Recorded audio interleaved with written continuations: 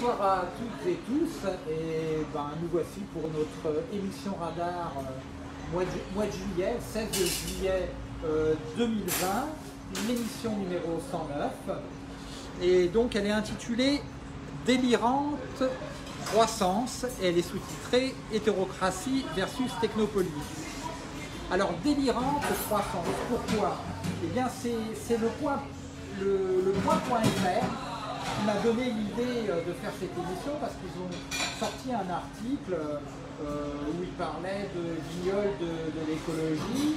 Euh, bon, on peut être d'accord effectivement sur certaines personnes qui sont présentateurs de télévision ou qui sont de, vieux partisans de l'Algérie française et sexistes qui ne sont pas particulièrement écologistes ni décroissants, mais c'était sous-titré euh, les véritables experts. Déjà, j'ai dit il y a 15 jours que je pensais des experts. Hein. Souvent, j'ai une expression pour ça, j'appelle ça les experts de BAF, parce qu'il faudrait en donner de temps en temps. Et sinon, euh, eh bien, euh, dans l'article, on parlait de délire décroissant. Alors effectivement, dans l'article, à aucun moment, on avait cité M. François Partant, qui est le père de la décroissance, et donc, euh, eh il n'y a aucun délire euh, décroissant. Par contre, il y a beaucoup de délire euh, sur la croissance. C'est-à-dire qu'on l'a bien vu avec ce sous-marin nucléaire d'attaque français qui a brûlé à Toulon. On le voit bien avec cette vague de radioactivité sur l'Europe du Nord. On voit bien comment ces choses essentielles pour nos santé, pour nos vies et pour notre avenir n'ont pas fait l'objet des premières pages, contrairement au Covid-19 qui, qui, nous saoule depuis des mois et qui actuellement, ben, sur Terre, a fait moins de morts en moyenne que ne le fait une, une maladie saisonnière qui s'appelle la grippe. Donc effectivement, le Covid-19 n'est pas saisonnier. Et on s'aperçoit, notamment en Floride, euh, que loin d'être saisonnier, là où il fait très chaud, eh bien, il est reparti en flèche. Et donc euh, on confine à nouveau et dans beaucoup de pays, et ça pose de très graves problèmes, notamment en Serbie, où il y a eu des émeutes, euh, parce qu'effectivement, bah, il y avait une, vraie hausse de mortalité. Donc on voit qu'au niveau local, les pouvoirs politiques instrumentalisent cette crise sanitaire pour en fin de compte euh, établir une autorité absolue sur leur population. Alors c'est pour ça qu'on a sous-titré hétérocratie euh, versus technopolis. Alors effectivement, cratie, kratos, le pouvoir, hétérocratie au pluriel, donc les, vrais pouvoirs, les pouvoirs autres et, les pouvoirs divers, c'est pour ça comme hétérosexuels, donc variés, ce sont des pouvoirs de création. Alors que... Est-ce que cratie c'est crasseux démocratie c'est crasseux, on pourrait le dire, mais euh, le pouvoir corrompt, le pouvoir absolu corrompt absolument, mais le pouvoir souvent est entendu en tant que pouvoir de nuisance. Donc je peux, notamment un sous-marin nucléaire d'attaque, un sous-marin nucléaire lanceur d'engins, c'est quoi ce pouvoir nucléaire? C'est le pouvoir de, polluer pour des dizaines ou des centaines de milliers d'années d'immenses territoires et de carboniser les populations, donc c'est un pouvoir de nuisance. Alors que les véritables pouvoirs, ceux qui sont divers, sont des pouvoirs de création, euh, pouvoir de sculpter, pouvoir de peindre, euh, pouvoir de, s'exprimer, que ce soit oralement ou par écrit. Voilà les vrais pouvoirs. Euh, pouvoir de faire jaillir de la noosphère dans notre biosphère de nouvelles idées qui vont de manière virale, mais euh, de manière non mortelle, euh, transformer les mentalités. Voilà, et c'est pour ça que s'il y a eu réellement un homme de pouvoir ces deux derniers millénaires, et eh il s'appelle Jésus, et il est né juif et il est mort juif, et contrairement euh, aux conneries que récemment M. Jean-Luc Mélenchon a proférées en essayant de remettre au bout du jour le peuple déicide, ce Charlot, dangereux Charlot, comme je le dénonce depuis très longtemps, s'est permis de dire que s'il ne savait pas si Jésus était mort en croix, mais de toute manière, il savait que c'était à cause de ses compatriotes. Donc je passerai sur euh, ce, nouveau euh, fait d'armes de cet abruti, de ce dangereux abruti qui a, ben, ne l'oublions pas, comme sous-lieutenant un certain Ruffin, qui, qui est exactement du même tonneau. Donc, pour euh, mettre euh, en route cette émission, parce qu'il faut réellement rentrer dans le sujet, je vais, prendre une citation, et cette citation la voici.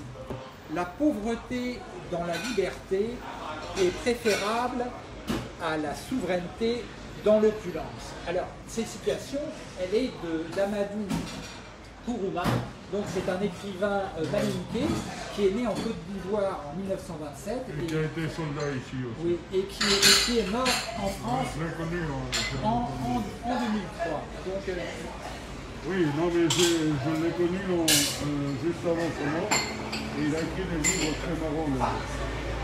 Et effectivement, c'est un, auteur extrêmement intéressant que je vais lire parce que je, n'ai jamais lu de livre. Le soleil des indépendants. Exactement, exactement. Et, c'est, il a ce regard par rapport euh, au néocolonialisme et à tous ces chefs d'État que notamment la France euh, a mis en place dans toutes les pays francophones, euh, qui est assez intéressant. Et on le voit justement en Côte d'Ivoire il a, eu des problèmes parce que par rapport euh, à Gbagbo et par rapport au, fait que l'armée française est venue euh, interférer euh, sur le choix du, du, du peuple ivoirien, on est tout à fait là dans le néocolonialisme et je pense que M. Bolloré comprendra tout à fait de quoi je parle. Donc, ce point... Peut-être qu'il ne comprend pas, il va falloir être plus clair avec lui. Il va falloir être plus clair avec M. Bolloré parce que peut-être qu'il ne comprend pas ce que tu dis. Euh, moi, je, pense qu'il comprend, parce que quand, euh, son candidat, euh, l'ex-candidat du MEDEF, Nicolas Sarkozy, a été élu en 2007, il est tout de suite parti sur le yacht de M. Bolloré, en Méditerranée.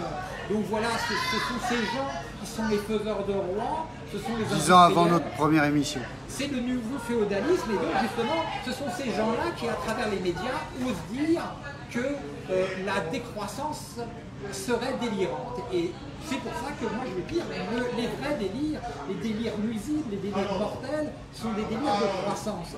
Et sachant tout de même qu'actuellement au Liban, euh, là, où euh, le, grand Carlos Ghosn, citoyen libano-français, brésilien, qui ne payait plus d'impôts en France depuis plus de 15 ans, euh, ancien patron euh, de Renault, est parti rejoindre son, vignoble et, sa, grande maison, euh, payée avec la sueur des travailleurs japonais et français, eh bien ce grand homme est parti dans un pays où actuellement on meurt de faim On appelait ça la Suisse du Moyen-Orient, mais pourquoi la livre libanaise était indexée par rapport à l'aide qu'apportaient euh, tous ces États euh, potiches que sont euh, les États, le Qatar, l'Arabie Saoudite. donc il faut bien comprendre que, que actuellement, l'Occident et ses alliés sont dans une très mauvaise passe économique parce que le vrai problème, ce n'est pas un problème de décroissance, c'est un, problème euh, de ce qu'on appelle une récession. Et la récession est gérée par les industriels et les militaires de telle sorte qu'on va préserver les dividendes à deux chiffres des actionnaires et, des oligarques. Et pour ça, qu'est-ce qu'on va faire? Eh bien, on va créer un chômage structurel de plus en plus grand et on va faire en sorte de faire disparaître les classes moyennes. Et donc, c'est ce qui s'est produit au Liban. D'un coup, beaucoup du peuple libanais qui se pensait complètement euh, épargné par rapport à la famine, à la misère, eh bien, se met à avoir faim. Il y a un homme qui s'est suicidé récemment au Liban parce qu'il avait faim. Et il disait que c'était peut-être le plus grand terrorisme, c'était ça, c'était quand, quand les, citoyens se mettaient à avoir faim.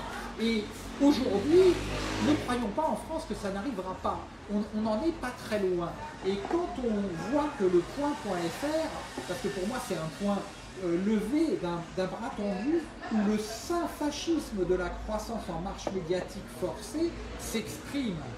Donc, écologie, les clowns, les vrais spécialistes et les autres, cet article, je vous conseille d'aller le lire sur le point.fr parce que vous n'y verrez pas et vous n'entendrez pas parler de François Partant et vous n'entendrez pas parler des vrais écologistes qui sont les zadistes, qui sont les gens qui proposent un autre monde. Mais alors, Citus Altius Fortius. Euh, comme la dernière fois, j'ai toujours pas oublié mon latin. Donc plus vite, plus haut, plus fort. Voilà la devise du Comité international olympique qui a été imposée par Pierre de Coubertin à la fin du 19e siècle. Et donc, revenons-en, voici, un délire croissantiste. Un délire croissantiste, délire de la croissance, boycott Paris 2024. Alors, Pierre de Coubertin a démissionné du Comité international olympique en 1925. Malgré tout, il participa activement à l'organisation des Jeux d'été de Berlin en 1936. Voici un petit extrait du discours qu'il prononça lors de la clôture de ces Jeux olympiques organisés par le régime nazi. Que le peuple allemand et son chef soient remerciés pour ce qu'ils viennent d'accomplir. Pierre de Coubertin admirait Adolf Hitler. Quand on lui posait une question au sujet de cette admiration, il répondait Comment vous diriez-vous que je répudie la célébration de la 11e Olympiade? Puisque aussi bien cette glorification du régime nazi a été le choc émotionnel qui a permis le développement qu'ils ont connu. Pierre de Coubertin considérait qu'Adolf Hitler avait beaucoup fait pour le retentissement des Jeux olympiques. L'esprit de compétition et l'esprit nationaliste sont de nuisibles et mortelles plaies mondiales contre lesquelles l'insubordination non violente active doit être permanente. Et on le voit bien sur l'affiche Paris 1924, c'est-à-dire un siècle avant, euh, eh bien, on voit un salut euh, fasciste euh, des Jeux Olympiques. Alors, ils sont tous européens et bien blancs, effectivement, alors qu'on est en plein dans l'empire colonial français. Alors on ne voit aucun, aucun athlète euh, euh, euh basané, qu'il soit d'Afrique du Nord ou d'Afrique noire sur cette affiche. Derrière, on a les, trois couleurs du drapeau tricolore, le patriotisme, le nationalisme.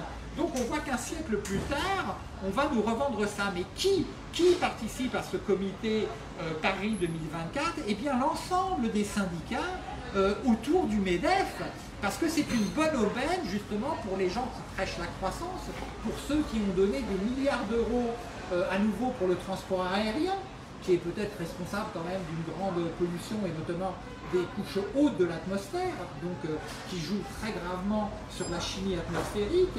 Ce sont ces mêmes gens qui ont donné des subventions en milliards d'euros aussi pour l'industrie automobile, donc pour des secteurs euh, qui, au niveau environnemental, on le sait, oblitèrent gravement l'avenir des générations futures. Donc, Aujourd'hui, les résistants sont des écologistes. Aujourd'hui, les résistants sont des décroissants.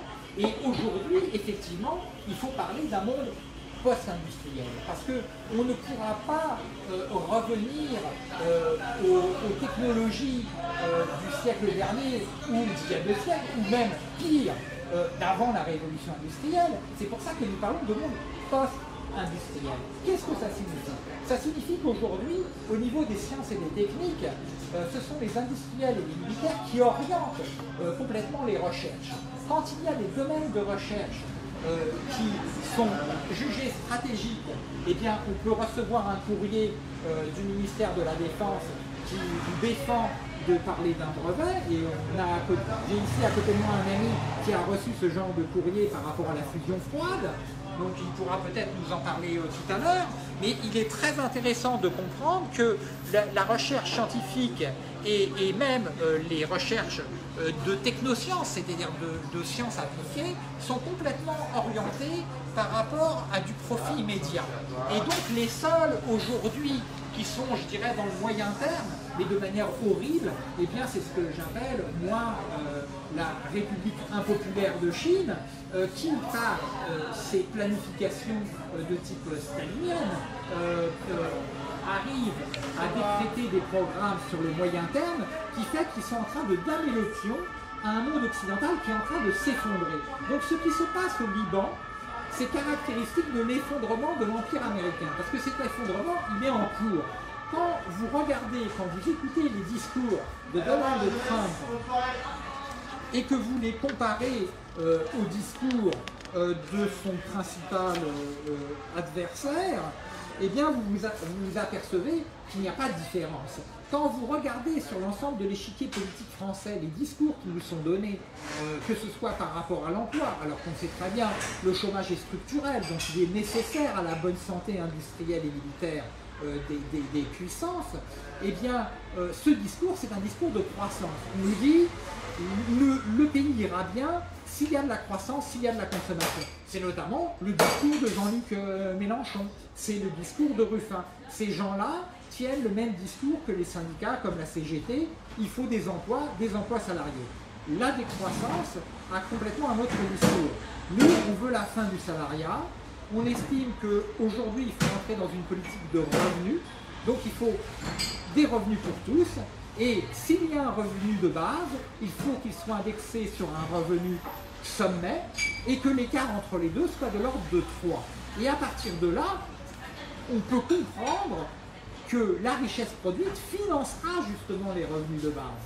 Et aujourd'hui, de plus en plus de Français ont des difficultés d'accès à l'emploi, au logement, à la santé, mais ce n'est que la préfiguration du monde qui vient, ce monde où pour avoir des droits, tu devras payer. Et ces droits proportionnels à l'argent et aux revenus, ils sont euh, imposés par qui? Par les oligarques qui ont des tickets de présence dans les transnationales. Pourquoi? Parce qu'on dit toujours la liberté des uns commence là où s'arrête celle des autres. Et quand vous voyez des transnationales qui s'arrogent de plus en plus de liberté, et même toutes les libertés, eh bien, tout naturellement, le citoyen n'a plus de liberté. Et donc, on est là aujourd'hui dans l'application directe de la liberté des uns s'arrête là où commence celle des autres. Notre liberté s'arrête définitivement là où commence la liberté absolue des transnationales, des grands groupes et des partenariats Parce que plus vite, plus haut, plus fort, c'est une logique qui nous conduit au suicide. C'est ça qui crée la déforestation. C'est pour cette raison qu'il y a encore de l'extractivisme. Alors qu'on sait très bien, au niveau de l'or, il y a moins de 2 ou 3% de l'or qui sert au niveau technologique. Donc ça, veut dire qu'on peut fermer toutes les mines d'or et avoir de l'or euh, pour euh, toutes nos applications techniques pour des millénaires. Voilà. Donc on voit bien que l'extractivisme n'est pas relié aux besoins des populations. C'est relié à de la spéculation. C'est relié au fait que les sociétés transnationales, dans le cadre d'une récession économique obligatoire, vu qu'il ne peut pas y avoir de croissance dans un système fini, eh bien, pour cela, il faut réduire les, salaires, les prestations sociales, et donc petit à petit, il va falloir pousser à l'élimination une grande partie de la population. Le Covid-19 est une crise sanitaire. C'est-à-dire que moi, quand j'entends certaines personnes qui se présentent comme des opposants à une espèce de, système complotiste planétaire, ça, me fait, ça pourrait me faire hurler de rire si, ce n'était pas dramatique. Le Covid, il existe bien. Il y, a, des gens qui meurent du Covid. En France, il y a plus de 30 000 personnes qui sont mortes du Covid. Et ce qui est étonnant, c'est qu'on a un nouveau Premier ministre, mais toujours zéro responsable. Mais par contre... Est-ce qu'on est tous égaux devant le Covid? Du tout. Justement, le Covid euh, touche les populations, euh, je dirais, économiquement faibles. Comme disait euh, le clown euh, les économiquement faibles, ils sont en pleine création. On est, même dans le retour du grand paupérisme et peut-être même, je pense, de la famine, juste en Europe.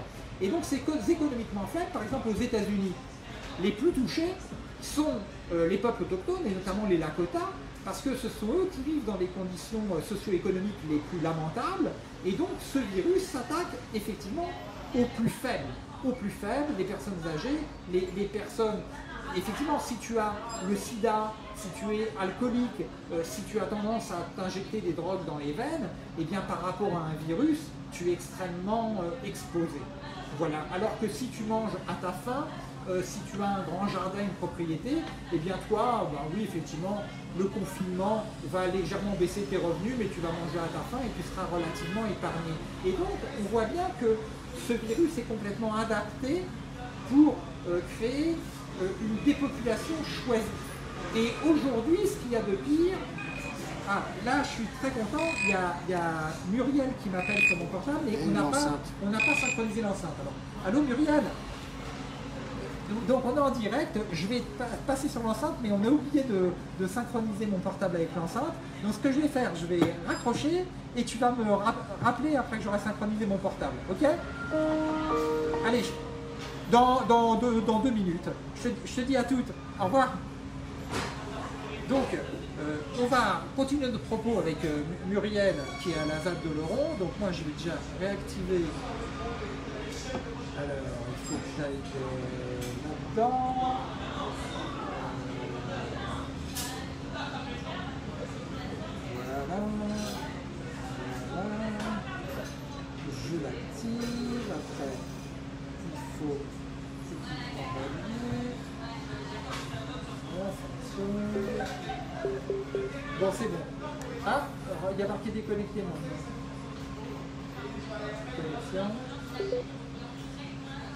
C'est bon, là je suis connecté.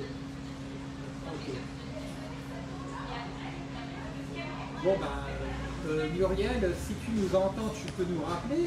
Sinon, euh, je reprendrai après sur ce thème parce qu'actuellement, il y a des partenariats dont il faut parler, euh, public-privé, euh, qui vont jouer sur notre intégrité physique et je dirais même intégrité génétique.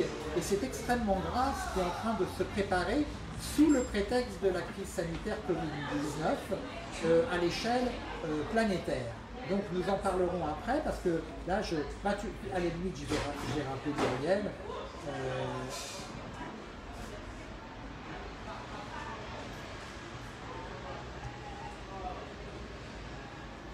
qu'on entend Oui, c'est bon.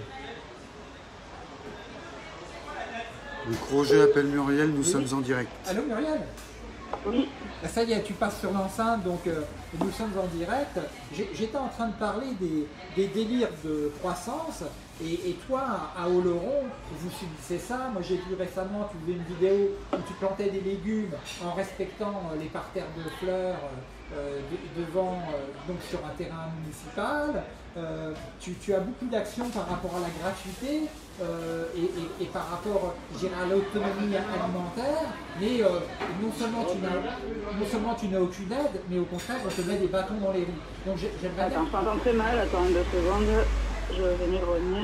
Est-ce que tu m'entends mieux voilà, là ça va mieux. Voilà, donc je voulais que tu parles de, tes initiatives sur place à Oloron pour essayer de, faire la promotion de ce monde décroissant et de ce monde de la gratuité et de l'autonomie alimentaire. Voilà. Mhm. Et surtout que tu nous parles des obstructions euh, institutionnelles, publiques et privées que tu dois affronter. Voilà. Bah, disons que euh, oui, euh, nous, ça, la vidéo que j'ai postée, c'était déjà un petit peu l'an dernier. Euh, là, moi, cette année, personnellement, sur Laurent, j'ai pas fait grand-chose. J'ai bougé d'endroit pour euh, recommencer la, même histoire, pour savoir des, jardins partagés, où euh, j'essaie de mettre un maximum de biodiversité, des plantes différentes et tout, de variétés toutes, pour après pouvoir les partager avec, avec les gens. Et, après, moi, vraiment, mon mode de fonctionnement, c'est que jamais de ma vie, je vais demander l'autorisation aux communes ou quoi que ce soit quand j'ai envie de faire quelque chose. Euh, dès, que, dès que ma conscience me dit ça a l'air pas mal, ça devrait être pas mal de faire ça, je le fais et je ne me pose aucune question vis-à-vis de la loi, sachant que je pars du principe que leurs lois sont dégueulasses et qu'elles ne sont pas humaines. Donc euh, elles sont même inhumaines, j'ai envie de dire. Donc il est grand temps que, voilà, pour à mon avis, hein, de, recréer vraiment un contact, une connexion à la nature, se rappeler que celle-ci nous existe uniquement la terre et que, euh, tout en dans tous, on peut vraiment trouver une solution euh, euh, il faut vraiment qu'on soit solidaire, avons tous les uns les autres, enfin, on va de plus en plus dans le mur, donc il y a plus de, de plus en plus de gens qui sont euh, en derrière, et c'est maintenant ou jamais vraiment qu'il faudrait apprendre les termes de solidarité, de fraternité.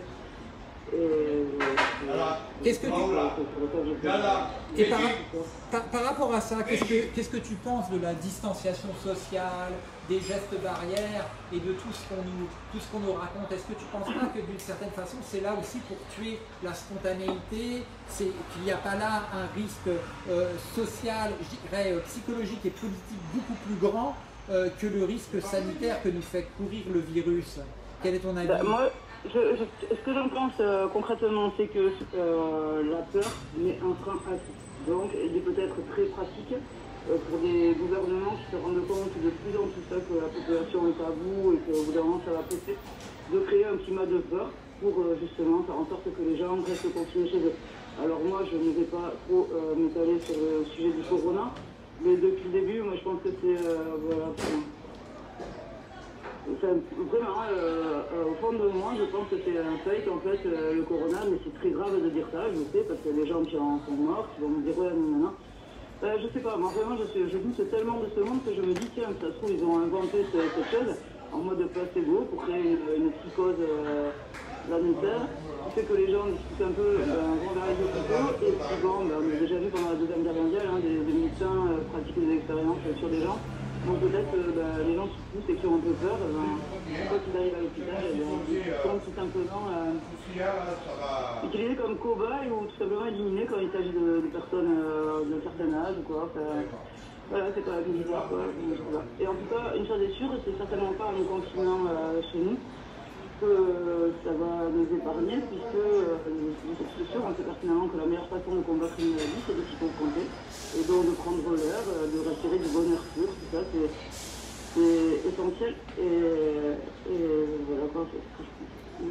Et, donc, euh, tu, moi je comprends tout à fait, c'est-à-dire que tu es dans un, toi tu vis euh, dans la nature la majorité du temps, donc effectivement euh, euh confinement et masque c'est un petit peu quelque chose de, je dirais, d'inutile voire de, voire de nuisible. Par contre pour tous les gens qui ont des modes urbains comme nous on est sur Paris, on prend le métro, il y a une densité de population très grande. moi je sais qu'autour de moi j'ai eu des gens qui ont, qui ont été atteints, je connais des gens qui en sont morts. voilà, euh, donc, par contre, je, c'est ce que j'ai dit avant de t'appeler au téléphone, c'est que le Covid-19 existe c'est une réalité euh, physique, mais ce qui est pour moi de l'ordre de la manipulation, c'est exactement ce que tu viens de dire. C'est-à-dire que là, pour le moment, il a fait moins de morts que ne fait en moyenne un virus saisonnier comme la grippe, mais qu'il est instrumentalisé planétairement pour nous préparer à d'autres choses, c'est-à-dire à la fois un flicage, un pistage, un traçage des, individus et surtout on va créer une nouvelle classe qu'on appelle la personne à risque. Et ça je vais en parler tout à l'heure, c'est extrêmement grave, c'est-à-dire que là on va essayer, euh, sans rendre le vaccin obligatoire, de faire en sorte que les gens qui refuseront la vaccination ou la détection aient, aient des droits qui soient modulés. C'est-à-dire qu'en fin de compte, on aura du sous-citoyen, celui qui refusera euh, la détection et le vaccin, et on aura du citoyen euh, esclave et soumis, celui qui sera fait détecter en tant que personne à risque, et que donc ce sera laissé injecter euh, un vaccin. Eh, eh bien, eh bien mon cher Pierre, comment tu que je te réponde à ça? Moi je dis chacun remettre de son destin.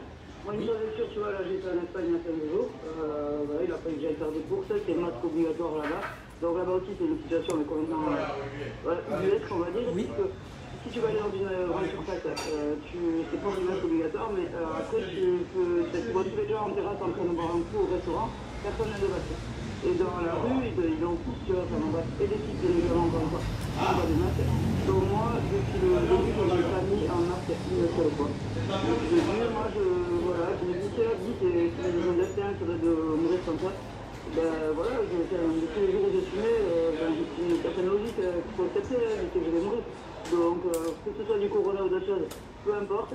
Euh, je fais confiance euh, à la vie tout simplement, mais jamais la vie, on n'obligera à mettre un masque ou à rester enfermé chez moi, jamais.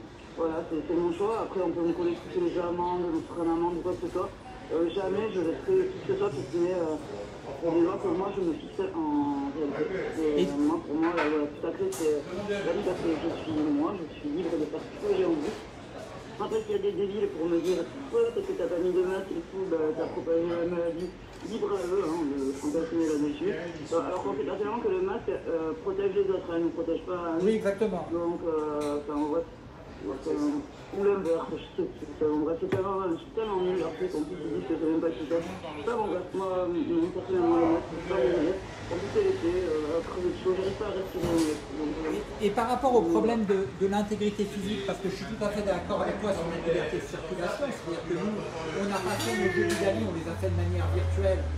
pendant tout le temps de confinement et un mois de plus, parce que le préfet de Paris il se sentait nous interdire de nous réunir sur la place de la République alors qu'on aurait mis un masque, qu'on se serait euh, désinfecté les mains au gel hydroalcoolique, on aurait fait comme, comme euh, il s'appelait comment, euh, Ponce euh, allez, euh, crucifiez-moi Jésus-Christ, mais attention, je me lave les mains au gel hydroalcoolique, comme tous les préfets, parce que je suis un préfet. Et donc euh, le préfet, ben voilà, il, il- obéit euh, à l'Empire euh, qui est son employeur, voilà. Et Empire, en France, malheureusement, on est les meilleurs. hein. Et donc l'intégrité physique, c'est pour en venir à notre ami, notre ami commun, Eric euh, Peteta, qui malheureusement, ben, actuellement, ben, tu n'as pas de nouvelles et euh, il se remet. Si, si, j'en ai eu aujourd'hui. oui. Ah, t'en as eu aujourd'hui alors. Peux-tu nous donner des nouvelles d'Eric qui, lui, euh, a vu euh, son intégrité physique très malmenée lorsqu'il a été euh, interné euh, de manière préfectorale en hôpital psychiatrique il y a malheureusement euh, une, une année de ça et il en subit euh, toutes les conséquences encore aujourd'hui. Est-ce que tu peux nous en parler Euh, ben, je t'en parlerai à un aparté, j'ai pas trop envie de dire ça en public, mais est sûre, c'est qu'il ne va euh, pas bien du tout, du tout, et que bien évidemment, euh, grâce à, cause de en en sûr, de, leur, euh, de ces internements qui sont et de, de molécules qui ont été euh, imposées, euh, il n'est plus du tout le même, et que, et que voilà, là, à l'heure actuelle, on songe lui-même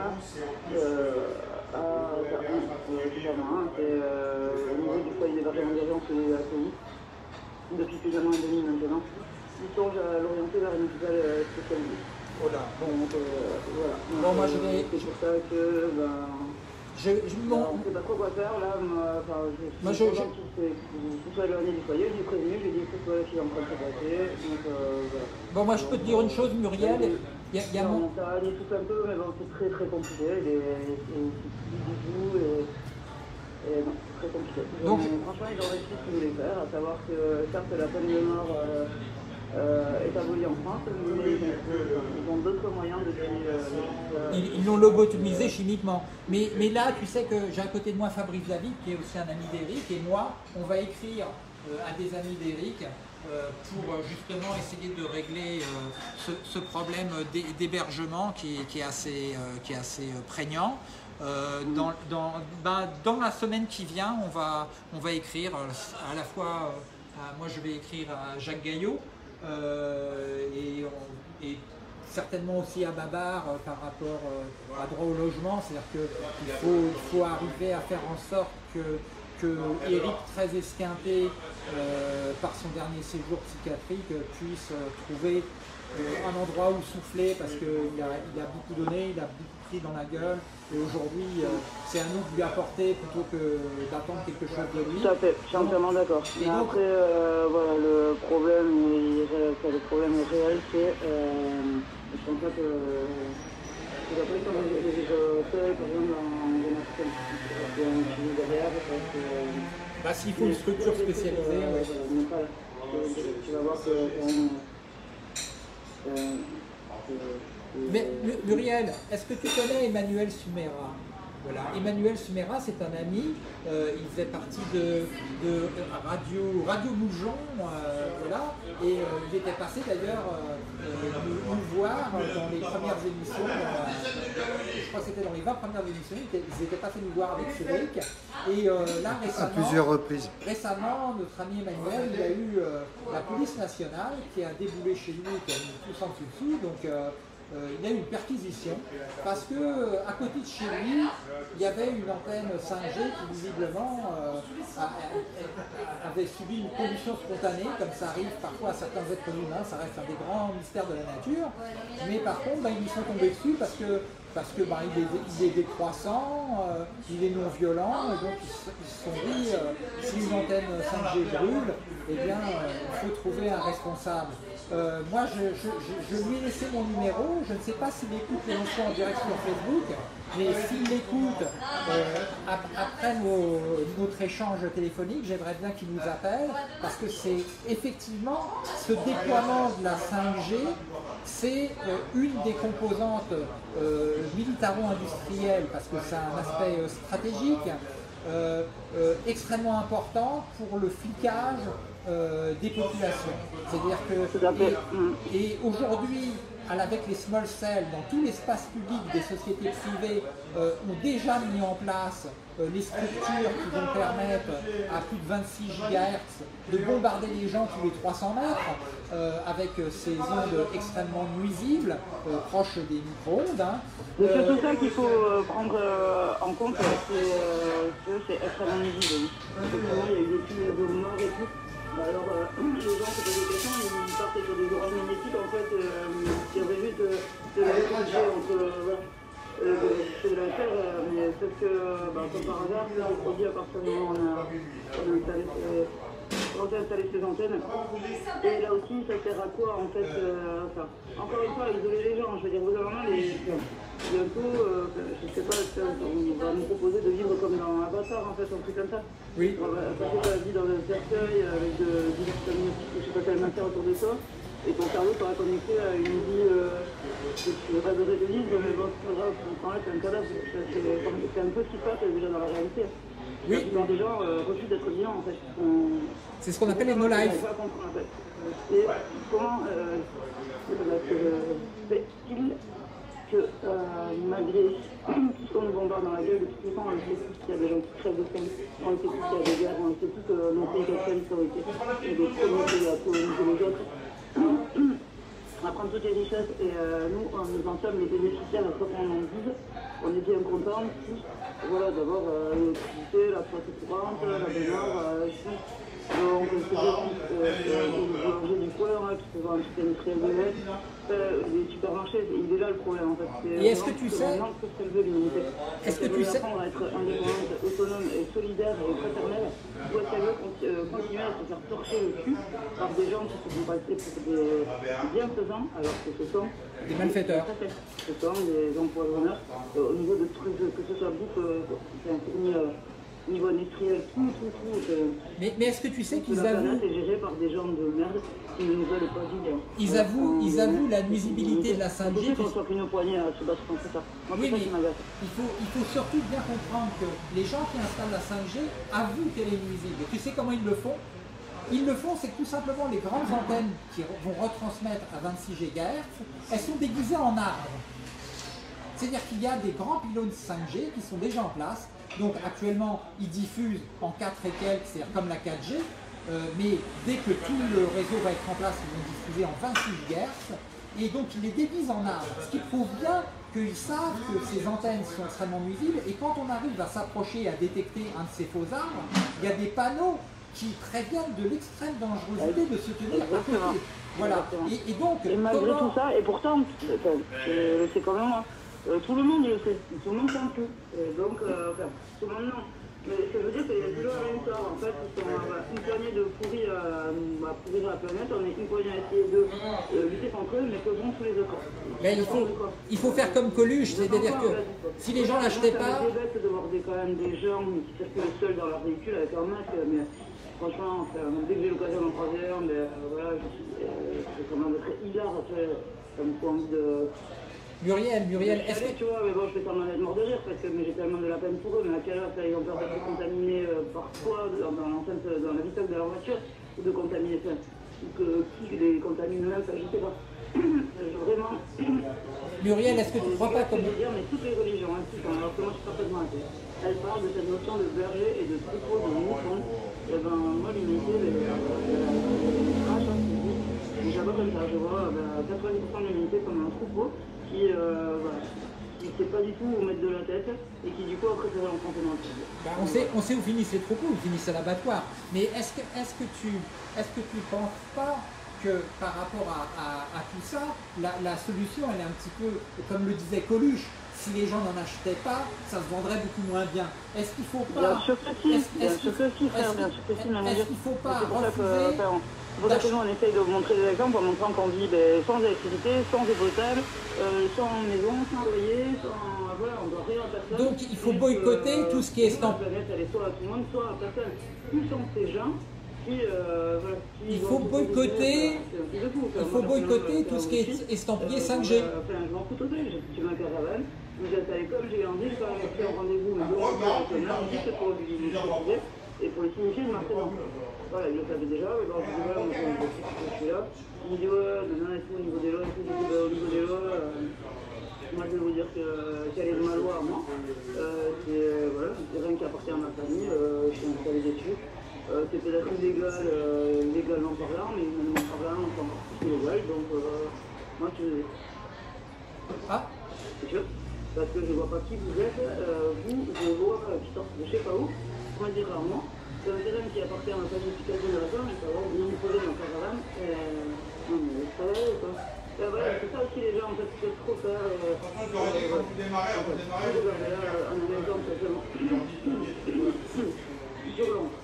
Euh, Il y a un mec qui, euh, cette semaine, là, a décidé de d'entamer une de, de la scène devant la mairie. Ça fait ça fait un an que c'est inscrit au. Et que euh, marque, c'est pas le trouve le logement, parce que c'est un mec qui depuis des années dans la rue, qui plus. Euh, des foyers d'hébergement euh, jusque là, il en a super marre, donc euh, voilà. Et vu que personne ne répond à, bah, à ses appels, bah, il a dit, donc, euh, je serai à la fin devant la mairie. Il se trouve que voilà, les réponses qui ont été données par la commune, et donc monsieur, certes, on peut trouver un, lo- un logement en mais à la condition que vous garantiez de vos chiens. Donc euh, ce matin, j'étais en communication avec euh, un ami qui a été longtemps président euh, d'IDA euh, dans France.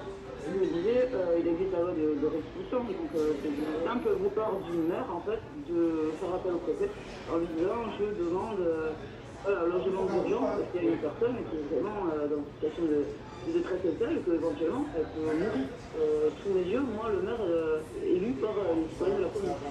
Bon, euh, là en l'occurrence, euh, par le conseil municipal, je trouve, ben, voilà, je rejette la balle, je ne sais pas quoi. Donc du coup, c'est une nana euh, qui fait partie du conseil qui a ben, la responsabilité de le prendre chez elle euh, depuis quelques jours. Et elle a eu prendre rendez-vous avec la présidente du et avec des gens de la mairie, et tout, avec tout un tas d'assos. Tout le monde lui dit Ah, vous n'auriez jamais dit personne, madame, pour euh, le prendre chez vous.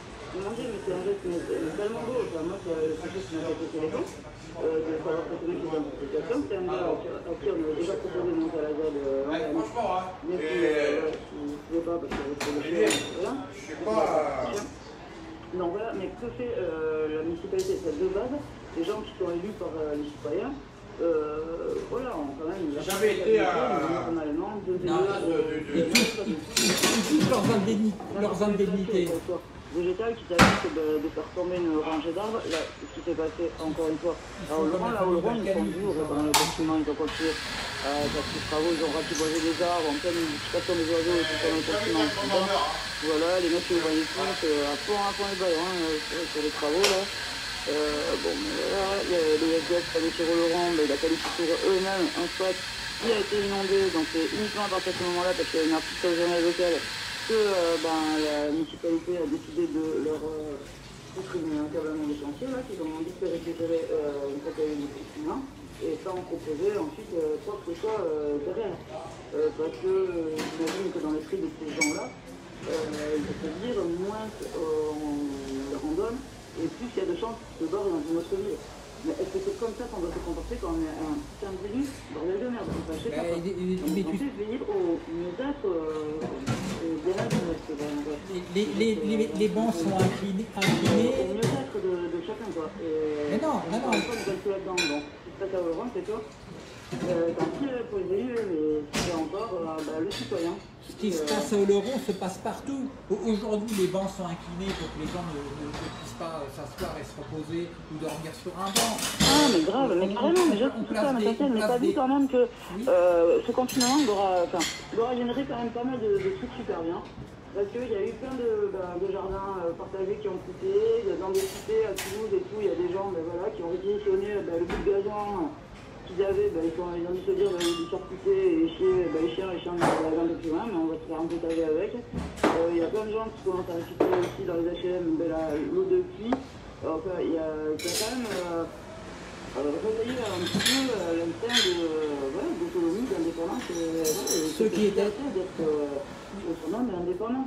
Mais Muriel, ceux, ceux qui, Il faut conserver, parce que euh, si on attend que ça vienne des, des autres, euh, ils sont pas là pour sinon, il n'y a, rien à attendre. Il n'y a rien à attendre des, des- des élus. Tu le sais très bien, ceux qui, ceux qui étaient éveillés avant le Covid-19, ils ne sont pas endormis pendant le Covid. Donc, euh, toute, cette histoire de le temps est venu, machin chose, c'est faux. Actuellement, on le voit bien, les milliards sont allés au transport aérien et à l'industrie automobile.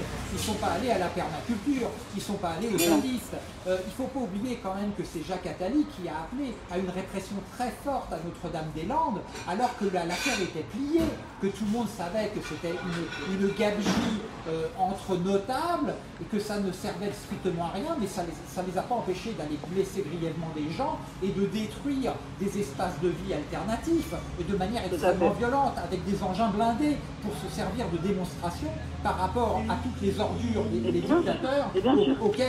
On vend des armes, auxquels on vend des armes. Et ça, faut pas oublier, c'est qu'aujourd'hui, eh la France, elle se propose d'avoir un camp d'entraînement pour les salopards de Saoudiens, de militaires saoudiens qui achètent des armes. Donc on est vraiment aujourd'hui dans la négation de, ce qu'est la République. On a euh, un régime dirigé par des marchands d'armes qui vend aux pires dictatures comme l'Égypte avec Al-Sisi ou comme Mohamed Ben Salman. Et, et donc moi ce que je veux, ce sont ces dangereux délires qui sont caractéristiques de tous les prophètes de la Sainte Croissance, qu'ils soient républicains comme Joe Biden ou démocrates comme Donald Trump. Tous les imbéciles heureux qui sont nés quelque part sont pleins de mépris pour toutes les altérités. Ils sont les inventeurs de la xénophobie organisée, planifiée, eugénique, sélection des individus, leur racisme. Cela consiste à criminaliser les différences de manière institutionnelle, publique, privée ou en partenariat. Aujourd'hui, avec le Covid-19, une nouvelle catégorie de personnes est opportunément créée, les personnes à risque. Microsoft France s'engage auprès de Simplon Foundation et de la France une chance, les entreprises s'engagent en soutenant l'initiative Gardons le lien qui vise à pallier grâce au numérique le risque d'isolement des plus vulnérables pendant cette crise. Avec le parrainage du collectif d'entreprises pour une économie plus inclusive et particulièrement du groupe ADP, AXA, Crédit Agricole, Danone, Orange et Sodexo. Le soutien des partenaires constructeurs et distributeurs, Acer, Asus, Cdiscount, Fnac, Darty, HP, Intel et Lenovo, d'Orange et de l'initiative La Voix de nos soignants de OnePoint, Microsoft France se mobilise pour réunir des fonds et des appareils afin d'acheminer vers les hôpitaux, les EHPAD et les structures sanitaires et sociales des dizaines de milliers de tablettes numériques pour assurer la connexion entre les malades atteints du Covid-19 et leurs proches. Cette initiative sera déployée dans les hôpitaux recevant des patients Covid-19, les EHPAD et les structures sociales. Depuis le lancement de l'initiative, 6000 tablettes ont été acheminées dans des établissements hospitaliers. Constituer un fichier de personnes ciblées. Le Health Data Hub, ou plateforme de données de santé, est un gigantesque fichier en création qui puise dans toutes les sources d'informations sanitaires, sécurité sociale, hôpitaux, médecine de ville, pharmacie et autres lieux de recueil d'informations codées. Les données enregistrées deviennent accessibles à tout opérateur dit de santé dont les compagnies d'assurance et tous les rapaces de l'industrie médico-pharmaceutique afin de les aider à mieux cibler leurs sources de profit. La gestion de ce fichier est confiée non pas à une institution de santé publique, mais à un établissement autonome prenant le développement des partenariats publics-privés. L'hébergeur, pour parler le novlangue du moment, est Microsoft, le géant américain d'Internet. Par ce biais, nos données sont rendues accessibles au gouvernement américain. Évidemment, l'habillage gouvernemental de cet outil de confiscation de nos données personnelles est qu'il devrait servir l'épidémiologie et une meilleure gestion des soins. Il faut lire entre les lignes et surtout regarder la réalité que nous connaissons notamment vis-à-vis du nucléaire et de l'absence de traçabilité publique des ventes de l'évothyrox, l'hormone euh, thyroïdienne. Technologie de rupture, vaccin ARN messager. Microsoft, à travers sa fondation, euh, va créer une vaccination qui nous sera présentée comme non obligatoire, mais seulement nos droits seront sous condition. nos libertés seront conditionnelles pour tous les non-vaccinés et les non-détectés. Voilà, et donc on est, on est rentré dans ce meilleur des mondes où des sociétés privées euh, prennent la main sur notre intégrité physique, notre corps, parce que ces vaccins ARN euh, qui sont On va, présentés on va essayer de rester optimiste et en tirer une bonne chose. Moi, euh, je trouve que euh, ceux qui euh, après tout dépend de gens, si ceux qui nous gouvernent ne sont pas débiles au point de ne pas réaliser qu'à force de faire de la merde et du mal, ils sont en train de réveiller ben, le bien. Donc euh, ben, il y aura deux camps vraiment bien définis. Euh, voilà, ceux qui sont, on va dire, euh, ben, normalement, ceux qui sont restés connectés voilà, à la nature, qui font confiance voilà, au destin, qui ne prennent pas la tête avec la mort, qui n'ont pas peur de tomber malade, hein, voilà, on peut guérir aussi euh, ou pas, tu vois, mais bon, c'est pour ça qu'il faut en faire une psychose et s'empêcher de vivre libre. hein. Moi, je te dis, si on me dit, il me reste deux jours à vivre, ben, je préfère les vivre voilà, totalement libre, quoi, que enfermé. Euh, euh, voilà quoi, avec des gens qui me disent oui, on fait des tuyaux partis par là, il y a moyen que vous viviez euh, trois jours de plus. C'est de la survie, c'est pas de la vie. Euh, C'est-à-dire, en fait, on passe, on passe dans des mondes de survie, alors que, alors que la mort, c'est la plus extraordinaire invention de la nature. C'est-à-dire, la mort, ce qu'il faut bien comprendre, c'est grâce à elle que la première explosion de biodiversité terrestre euh, a eu lieu. Et il est probable que l'origine de la mort soit épigénétique. C'est-à-dire qu'avant, il y avait surtout des, bactéries, et donc les bactéries, euh, un individu en donnait deux, mais les deux euh, étaient très peu différents de l'individu d'origine. Et donc la bactérie, elle, elle s'adaptait au changement du milieu par des phénomènes épigénétiques. C'est ce qu'on appelle euh, les, gènes d'activation. C'est un, un domaine de la génétique qui est très récent. Et donc la mort des individus, elle confère aux espèces une résilience temporelle accrue grâce à trois nouvelles voies qui en sont les corollaires.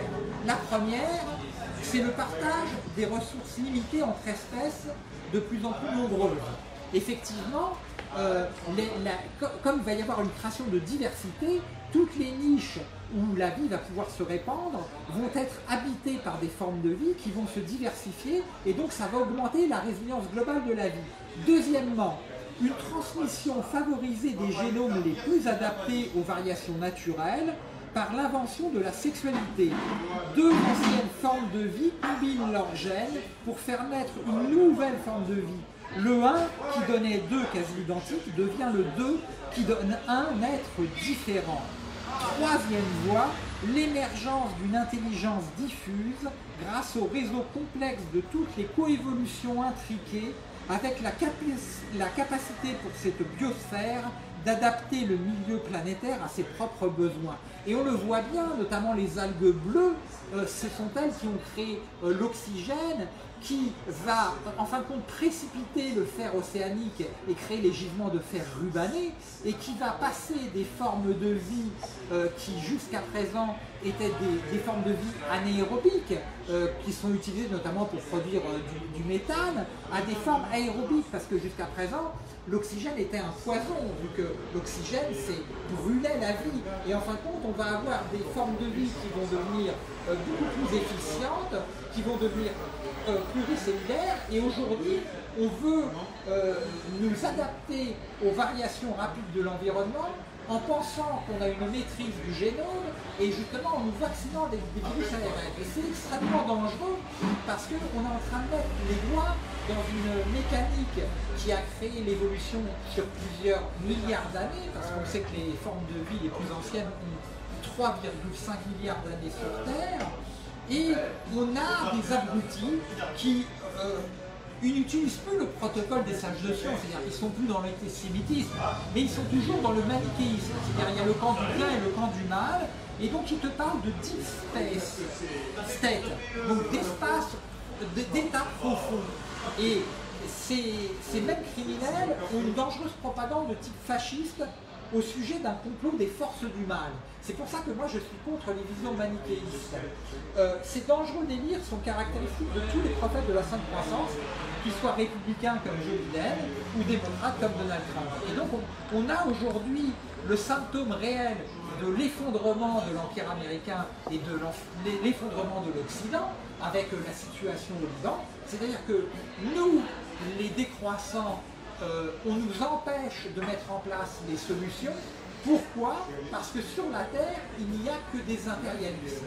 Et actuellement, l'impérialisme euh, qui a le vent en poupe, c'est la nouvelle route de la soie, c'est euh, la République populaire de Chine, ce que j'appelle la République impopulaire de Chine, celle qui veut imposer la 5G, euh, celle d'où provient d'ailleurs le Covid-19. Et voilà, donc ce racisme, ce nouveau racisme, cette création justement des personnes à risque, euh, c'est un racisme euh, qui, on le voit à travers le virus, touche les plus économiquement faibles. Et donc, il va falloir recréer une économie alternative euh, qui se passe de l'argent, donc qui tue l'argent, qui soit peut-être au-delà de la gratuité. Donc il, il y a vraiment tout un monde post-industriel à imaginer. Et ce monde, il doit tout repenser. Notre façon de nous nourrir, notre façon de nous vêtir, euh, et, et même, et même remettre en cause des choses euh, qui nous paraissent aussi absolues que le sédentarisme. Donc est-ce qu'on va pas rentrer est-ce qu'on ne va pas rentrer dans une troisième voie où justement les peuples euh, ne seront plus ni nomades ni sédentaires, mais je dirais seront nomado-sédentaires avec la possibilité de pouvoir échanger nos habitations euh, avec d'autres gens et donc il n'y aura, plus de, de- il y aura plus de commerce sur le logement. Oui, mais tu sais quoi Oui. Quoi En fait, là, le problème, c'est qu'il y a une confusion entre euh, nomade et être SDF. Donc, euh, SDF, c'est pour ça que je pense qu'il y a vraiment une réelle euh, volonté politique. Donc, pas trop aider quand même les SDF, histoire qu'ils maintiennent une psychose euh, dans la population ouvrière, par exemple, hein, qui dit, si je ne suis pas payé mon Et je me retrouve à la rue. une situation que euh, tant pis si je bois, tant pis si j'ai mal au dos, je à aller euh, à pour bosser parce que euh, je prends me retrouver comme ça. Donc ça arrange quelque part euh, bah, les gouvernants, le côté de la pauvreté parce que ça fait peur à celui qui n'a pas grand chose mais qui a encore un petit peu de se retrouver sans rien. Sauf que euh, vraiment vivre sans rien, c'est- on peut s'en protéger. Après, euh, tout le monde ne le dit pas de la même manière. C'est pour ça qu'il faut que pas une décision qui vienne de, de soi. Il ne faut pas que ça soit imposé par, euh, euh, par la société. euh, Ça fait un petit dégueulasse. euh, T'avais pas décidé de te retrouver là, tu te retrouves, ben, tu auras du mal à t'en sortir. Mais essayer de se détacher de, de tout ce système et euh, un volet de ses propres ailes, euh, réapprendre euh, vraiment à être libre. Et, euh, et pour moi, qu'est-ce qui nous enchaîne à ce système? Ben, enchaînent, c'est des boulets aux chevilles, des menottes aux poignets, la corde au cou. Ben, c'est ben, les factures, euh, c'est des- l'angoisse du vide en fait, euh, du frigo vide, des placards vides. Euh, voilà, l'angoisse des factures qui s'accumulent. Et tout ça n'a rien à foutre dans, sur cette terre en vrai. euh. on est des animaux, faut pas l'oublier, faut arrêter de dire les hommes, les humains tout. On est des animaux, on est la seule espèce euh, qui, euh, qui assume, et putain, c'est ça. De créer un univers euh, comme ça, quoi, en fait. Donc, du coup, bah, l'égalité, bah, ça n'existe pas du tout, c'est juste euh, un gros fake. Et quand tu passes au tribunal, quand tu vas chez les flics ou dans les mairies, il y a ce mot, là, égalité, fraternité, non mais. Mecs ou quoi Ils sont les premiers à bafouer euh, ces valeurs. Donc, euh, de temps, donc, c'est vraiment à nous, euh, euh, les, les gens du peuple, hein, à, À faire respecter la vie. à vraiment se dégager de, de- de ces autorités-là. Euh, mais pour ça, il faut vraiment passer donc, par la décroissance, à savoir euh, se satisfaire de beaucoup moins, on va dire. Mais, Euh, Muriel, donc, Mais c'est vraiment une liberté de ne pas dépendre euh, de quelque chose. Une dépendance, c'est une chaîne en fait. Euh, exactement. C'est-à-dire que c'est de, c'est de nos renoncements que naîtront nos libertés. Euh, bah, parce qu'on s'en fout si on a que deux heures d'électricité par jour. Enfin, il y a des gens qui ont vraiment besoin d'électricité, euh, genre un HLM et tout.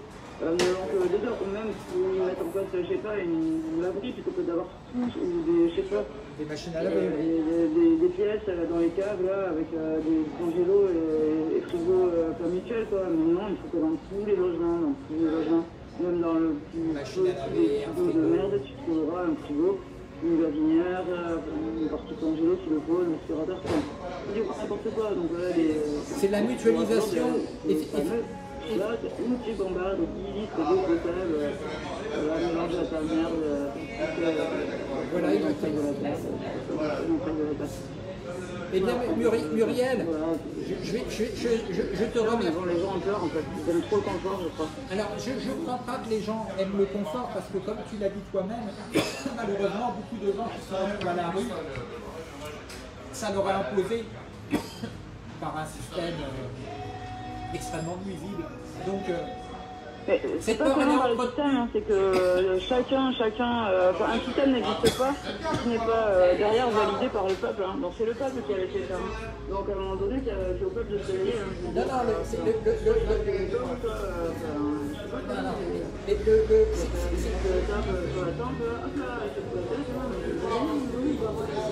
Moi, je- je- euh, euh. Oui, mais le peuple, le peuple est réveillé.